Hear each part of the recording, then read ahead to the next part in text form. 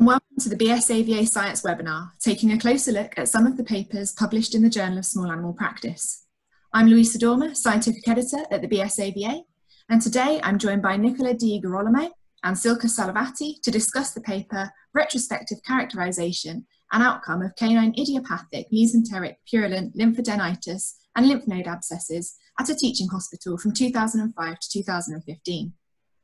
Nicola is an Associate Professor in the Department of Veterinary Clinical Sciences at Oklahoma State University and is the Editor-in-Chief of the Journal of Small Animal Practice. Silke is a Senior Lecturer at the Hospital for Small Animals at the University of Edinburgh and a European Veterinary Specialist in Small Animal Internal Medicine. Welcome to both of you. Thank you for joining me today. Thank you. Hi, thank you very much for having me. So, Silke, I wondered whether I could just jump straight in with a question, if it's okay. Um, these diseases are quite rare in dogs, so I just wondered whether you could tell us a little bit more about the motivation for the research, please. Yes, I think the main motivation was that um, we saw two of those cases um, quite close to each other um, when I was still um, working in Germany and um, from, from where the paper is also published. Um, and so that gave us the subjective impression that maybe this is a new disease that is becoming more more frequent, um, and we we didn't quite know um, what we were dealing with. Um, because as I'm sure um, you know what we're going to discuss um, in in a few moments is that um, it is quite sort of vague and unspecific presentation, and you have to do a lot of tests until you actually realize what is going on. And so I guess what I'd like to always do is if I have a hypothesis, um, in, in this case, or this is something that we are, haven't seen before and it might become more frequent, then I'd like to just test it rather than assume that that is what um, is going on. So I thought it would be a, a, nice little project to go through our databases and see how many cases we have actually seen um, of these particular um, conditions um, and, and, you know, to see if that notion that it is something um, more common than I thought um, is, is true or not, um, which it turns out is still pretty rare. Um, so, but that, yeah, but that was the main, um, the, the main motivation because I think we all really like to make sure that we're dealing with some evidence-based, you know, research or that we base our, you know, clinical decision making on um, on something that is somewhat evidence based. So I thought it would also be a good idea to to figure out if somebody had already had more or less success with sort of different treatment options for for this condition. Great, thank you. So building on that then, could you tell us a little bit more about what you did and what you found, please? Yeah, absolutely. So I think, um, so the, as you said, um, and I apologize for this very long title that you just had to um, read out there, um, but this is about um, a condition that I couldn't um, describe any better than giving it this sort of slightly awkward name. Um, and, and, and, as you said, in this case, these sort of abdominal or mesenteric um, lymph node abnormalities where you really um, can't find any other cause, but they are mostly sort of purulent, so neutrophilic inflammation or even sometimes um, abscesses forming. Um, and as I said, a lot of investigations potentially put into these cases um, to see if there is some cause uh, to this. Um, but in the end, uh, a lot of the times being pretty um, fruitless in finding what is going on. So um, this was a retrospective study, of course, um, as it is a rare um, disease, and I included these 10 years, so from uh, 2005 and 2015, because that was literally what the, the, the database um, was that I had at my um, at my disposal um, at the time. and then as it is with retrospective um, studies, there's the, the tedious part, which is the data mining, which basically sort of will uh, will take up up to like 75 percent of the work that goes into the study and then will actually be mentioned in three sentences in the in the final paper which means we we looked for these um, for these cases um, in in three different databases of the hospital. So one was um, the surgery department one was the medicine department and one was our clinical pathology um, department um, to identify these cases. And then obviously a very big process of elimination um, of the cases that are either unclear or unsuitable or duplication starts. So you do a lot lot of um, data clearing. Um, and even though we had an enormous number of hits um, that uh, had these sort of keywords included either in the final diagnosis or in the sort of free text, um, thousands of cases, we ended up um, with maybe in initially a sort of 50 or so um, that we thought um, might fall into the category of these idiopathic lymphadenitis or abscesses.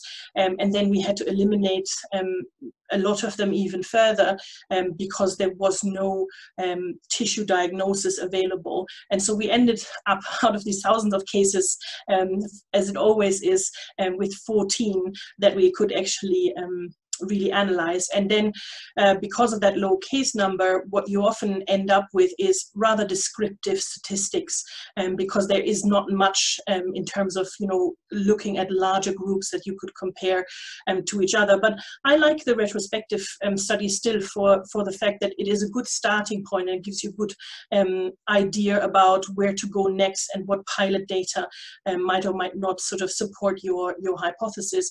So in the end of those 14 dogs, um, that we felt were reasonably um, justified to be called idiopathic um, with their abnormalities. Um, we wanted to look at what were their laboratory abnormalities, what were their clinical abnormalities, um, what were they treated with, and what was the outcome. And that's basically what the paper mostly um, describes. Um, so in, in detail, really, um, the majority of them seem to be relatively young um, dogs. So I think the median age is about um, three, three and a half years. There was a slight skew towards the male um, population, but I, I, don't think I would over interpret that um, at this point too too much. Um, and in in terms of the presenting signs, um, they were maybe a little bit as expected, pretty vague. So a lot of them just had pyrexia, um, lethargy, inappetence, maybe some abdominal pain, and then there were some that had maybe signs that you would associate with the gastrointestinal tract, like vomiting and, and diarrhea. Um, they had obviously, as it is with retrospective studies, a very variable degree of workup, um, and some of them, you know, reading through the between the lines, if you like, and probably had a workup for, for what I would call pyrexia of unknown origin. So a lot of them had a lot of different tests done that weren't necessarily targeting the gastrointestinal tract or the lymph nodes initially. And then only when uh, these were found um, and sampled, and it was the only thing left, um, you know, in terms of explaining the signs, they were given this, um, this diagnosis of the idiopathic um, in inflammation there. Um, and that also means, of course, that we cannot 100% be sure that we haven't missed any other um, pathologies. Um, only a few of them, you know, for example, had pancreatic um, lipase testing. And I guess, you know, depending on where exactly these lymph nodes were, you might, you know, immediately think maybe there was some um, pancreatitis or something else that is otherwise maybe a little bit tricky to diagnose that um, that was missed. And in terms of treatment, um, the majority of them, 10 out of um, 14, um, had some sort of surgical um, intervention. And again, this is probably me reading between the lines of these files, but I think the tendency with the retrospective study is, or, or the tendency from clinical decision making is that if if these abscesses look big, cavitated, and really horrible, then you're probably more likely to go um, straight for surgery. Whereas there is a handful of mild to moderately enlarged lymph nodes, and you sample them with FNA, and they come back um, neutrophilic inflammation. You might not be so inclined to do to do surgery. So certainly there was no um, um, sort of standardized approach to, to treatment.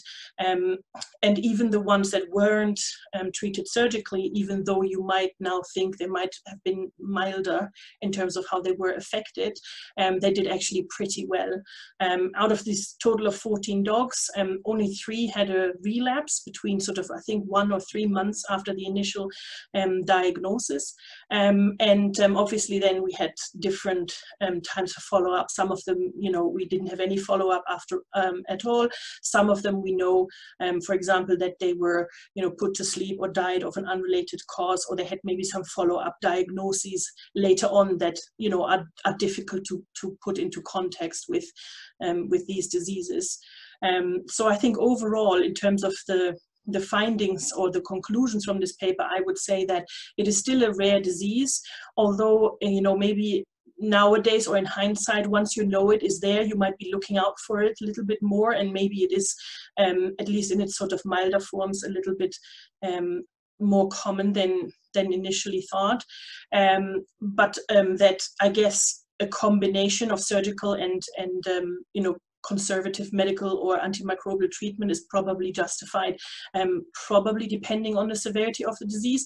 But I don't think this study was set out to, um, you know, really make treatment recommendations. So it was really more a descriptive study to say this exists and this is what we have done, and now we have to decide how we would best, you know, uh, maybe deal with cases in the in the future. Great, thank you. So you've touched on it already, really, but uh, one of the inherent problems with retrospective analysis is obviously that reliance on previously recorded data. And did you find that a lack of standardized diagnostic or therapeutic approach to cases had an impact on your kind of comparison or ability to compare cases? Yeah, I think the retrospective nature is always um, in in a way as i said earlier it is it is an easy start because if you have a good database and you can um, search it for final diagnosis or or you know even sort of the freehand text um, and you know that on average you and your colleagues are pretty good in actually filling out this um, this database and, and populating it with the right um, you know uh, uh, um, sort of buzzwords or, or diagnosis then i still think it's a great it's a great tool. But we have to be aware that it obviously you know every retrospective study has um, you know the the sort of disadvantages that I just mentioned. Um, we don't know the decision making um, behind every sort of clinical case, and we assume that, um, as I just said, the maybe more severe looking cases were had a treatment bias and were treated differently um, from maybe more mildly affected cases. Um, and I guess, you know, also because this was done in a hospital in Germany where a lot of um, uh, owners have no pet insurance in comparison to to the UK where I am now. You know, there's obviously also then the financial bias into this, and there might have been um, some cases where surgery would have been recommended but wasn't done because the owners couldn't afford it, um, or we don't know if potentially longer treatment would have prevented these relapse from happening, or whether there was a financial, um, you know, component to not doing that because um, one or two of these antibiotics for a medium-sized dog for months on end that might be um, depending on what the drug is relatively expensive. So there's obviously lots of um, drawbacks um, due to the retrospective nature but i still think um, you know in a way that it is a very good starting point and it is particularly good if the disease is rare. Because if you wanted to do a prospective study about something like this you would have to do a multi-center study um, because otherwise you would take forever to to collect those cases. Um, and equally even with a multi-center study um, and I'm sure everybody who has tried to do that um, knows very well that doesn't necessarily guarantee you that you get complete data um, from all of those cases um, either. So I think particularly for rare conditions, the retrospective study is actually quite quite okay. Yeah, absolutely. Thank you. Yeah. Oh, Nick, I think you're muted still. Sorry. Uh, you also mentioned that uh, the small Münsterländer breed seem subjectively overrepresented in your sample population, uh, but the, the, numbers were too small maybe to calculate, you know, odds ratio and uh, um, as compared to the to the uh, hospital population. So, um, do you have any, you know, hypotheses of why these could be? Yeah, I think this is a classical example of um, subjective assessment versus you know when you really do the calculations um, and to a certain degree is also a decision that you probably have to make at the beginning of your data mining and not once you've already you know mined all those data and then go back because i think that might be really tricky. So i think um, i mean the even though the this breed the small münsterländer is a is a german breed and is not very rare it still is rare enough that having three out of the 14 cases um, you know being that breed sort of makes you think um, that there might be some predisposing factor or overrepresentation. And in fact, um, the very first case um, that I saw with this um, was, uh, I think, you know, case number 14 on our list was what, and that was a small Münsterländer. Um, so maybe that is also then even further biasing you because you, you think, oh, that was the first one I've seen, so where are the other ones that are um, very similar? And I think what we probably would have to do um, is from the exact same time point from the 2005 to 2015, um, really look at how many um, of these dogs we would see in, in our hospital um, and then really calculate a, a you know a, a, proper sort of risk or, or odds ratio as you said. But at the time when you've already trialed through 4000 or whatever cases um, you know i think you could have made the decision to go back and, and do that but in this particular case we decided not to Yes, that, that, that makes sense. That makes definitely sense. Um, so in the discussion, you suggest that conservative management uh, of this disease can be an effective option when surgery is, isn't possible, um, especially if there isn't uh, septic peritonitis. Uh, um, given that these requires repeat treatment with antimicrobials, could these have a, an impact on the development of resistances or um, something like that? Yeah, I think um, I think you're absolutely right. Um, that is a really big question to to ask, and I think it it goes into the wider context of how and when we are using antimicrobials in small animals anyway. Um, and I guess one one uh, sort of aspect of this is obviously um, regulations that might be very different from country to country. And I am pretty sure, for example, that if that was be in a in a Scandinavian country, we would not be able to do you know empirical antimicrobial treatment um, you know in these cases uh, for that duration of, of time.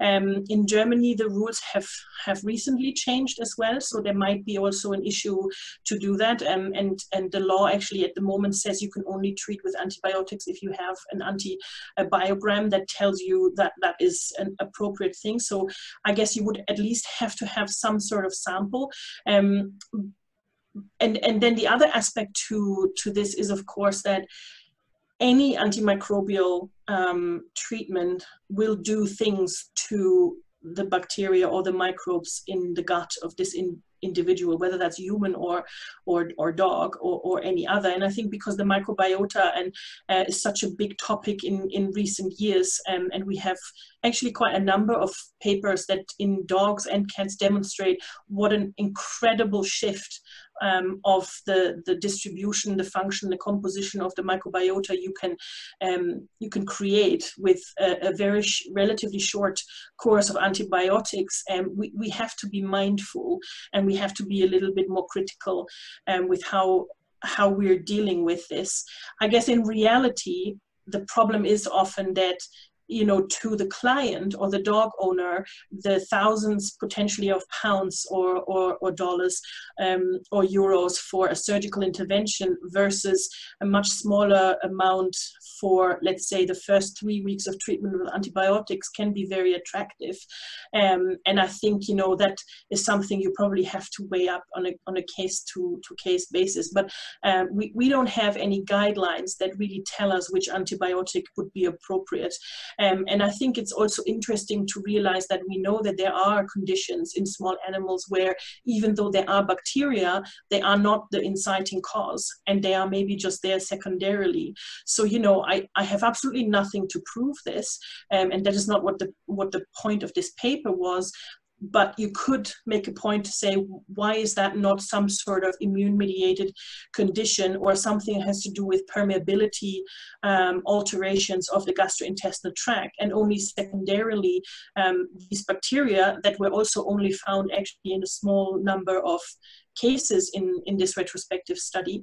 Um, so only 50% of the dogs that were sampled actually had bacteria that could be cultured from those lymph nodes. So what if that is actually not the primary cause and we shouldn't maybe be treating with antibiotics or, you know, is there anything else that we should be doing before or after we treat with, um, with antibiotics? I think that's very, it's a very interesting question. And um, again, it wasn't the scope of this study to, to look into this, but I think that would be very interesting in the, in the future. Yeah, those are uh, actually excellent points, uh, something uh, we deal with uh, in everyday basically life uh, give, to give or not to give some antibiotics uh, in situation where it's difficult to obtain uh, an actual sample. Um, it, it is uh, definitely a complex uh, matter. Um, Yes, sorry, I just realized I don't think I've, I've answered um, whether, you know, what type of sample to, to, to use. Um, I think, you know, it has to be from the tissue of some description. So either you would have to take an, a fine needle aspirate and if that is enough sort of, you know, liquid or sample that you can get out, I would certainly send that for culture. And if you go in surgically, then I would do the same um, and also send a, a, part of the biopsy um, or maybe a swab from the center of the abscessated um, lymph node for um, for culture. And I think in a, in a way, the more samples, the better. You know, if you think that there are, um, you know, one that has more of a cavity and the other one is more solid, then I would probably, um, you know, send send several um, just to increase your chances of finding something. Right. Yeah. Thank you very much for that. Um, I think it's going to be useful for um, everyone listening of what kind of samples can be obtained. Um, you mentioned uh, uh, the database search and how the database search was uh, kind of uh, uh, collapsed in a few sentences in your paper. And uh, I um, totally agree that having, um, like, we actually selected your paper also because it was very well described, the database search. but that is not often the case in uh, veterinary medicine. Sometimes uh, uh, we get, you know, maybe just one line that say, you know, these cases were found. Um, what do you think? How how do you think uh, was important in your case to do these, you know, three different searches, putting them together? Do you think you obtain more data? Um, was this relevant? So for further researchers to um, to maybe make the same choice. Yeah, I think transparency is important. And what I always say also, for example, if I write a paper with maybe one of the, you know, junior scientists or one of some of our residents is that if you have to write it so that the person reading it could be sitting at the computer or whatever tool you used and do the same thing by following your your steps. If that is not possible in the way you've written it then you haven't explained it well enough. And i think that is you know because I, I, I think we should be transparent and we shouldn't be hiding how we do things. And I, I realize, you know, it might not mean anything to a lot of people out there than to say, oh, I've used this software or this patient management system. But if you do come across it, then at least you know, um, you know that that it has these particular tools or functions that that were were used. Um, and it, for the second half of your of your question, how how that really influences the, the the database, I think you know a, a, good retrospective study should start as wide as possible and then narrow down as sensibly as possible. And I think that will give you most the sort of uh, the, the, the, sort of the best output in terms of quantity, but then also in terms of quality. So if you try to include as many cases in a relatively unspecific search um, at the beginning, um, and then you have predefined inclusion and exclusion criteria that you then very rigorously apply to these data, even though we all feel the pain when another 100 cases go or another 1,000 cases go. Um, but I think that's important to predefine these um, these criteria so that you have less bias when selecting the cases your, yourself and i think you know in some uh, diseases maybe maybe not necessarily in this one although it could have applied you might also have to have two people to go through the um, through the database and make a decision whether this case fulfills or doesn't fulfill the criteria i'm particularly thinking about things like pancreatitis where uh, there is no gold standard diagnosis so you have to go with um, sort of the clinical feeling sometimes times. Um, so I think I think it's really important to do it in a in a very defined way. Yeah, these are terrific suggestions. Uh, I would uh, love uh, everyone doing a retrospective study uh, considering these uh, um, consideration, uh, having a, a, double extraction. It's what we aim for right now, and um, that these are very very good points. Um, it's going to help reproducibility of research definitely in the future. Um, but uh, getting back to your actual, uh, you know, study, until the publication of this study, most of the existing literature were basically single case reports and maybe some small case series. Uh, what further research needs to be undertaken in this field at this point? Yeah, I do think what I mentioned before, um, a prospective study, even though it might be um, relatively painful to do and it might take a relatively long time in comparison, is probably what needs to be done. Or at least um, if, for example, one or a handful of centers could agree on a sort of predefined way of working up these cases um, if they do occur to just say we will try to always do these and these and these tests and we will always try to treat like this and this first and if it doesn't work by time X, then we're going to make a decision based on these and these criteria. Um, I think that could um, already streamline these cases that even though you're still making only clinical decisions um, so you're not doing any sort of experimental you know data studies you're not doing something that you wouldn't otherwise do that could still streamline these cases to the point that those could be um, you know very useful to be written up and looked at even if it's then in a retrospective matter again if if, if that makes sense. Um, because i think that is the biggest sort of um, power or advantage that we have by seeing um, these rare cases in our referral hospital that um, we we can actually streamline this. And actually we we here we've done this for um, quite a number of um, cases. Um, I obviously deal with gastroenterology cases mostly but we have um, a flow chart that we say that this is the things that we always do when a case uh, comes that we suspect has chronic enteropathy.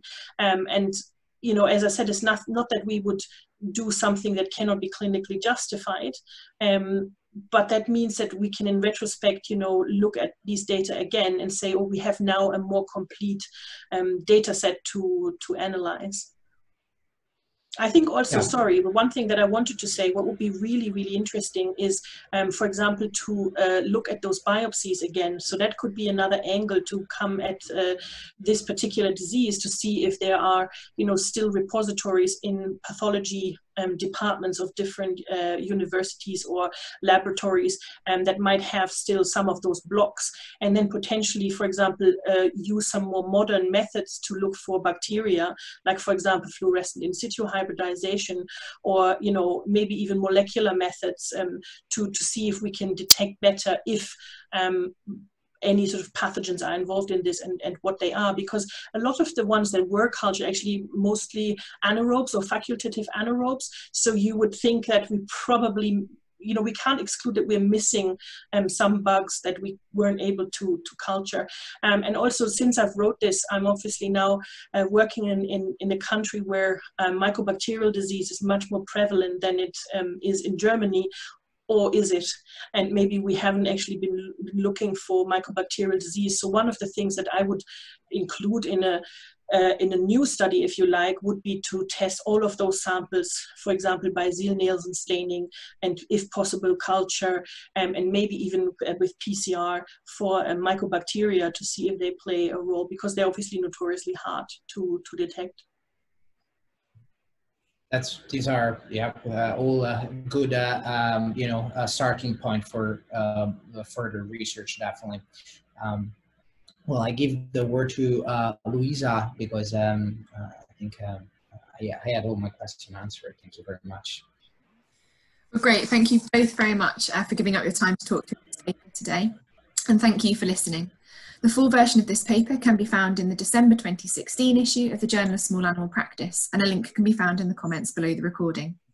Join us next time when we will be discussing another paper featured in the Journal of Small Animal Practice.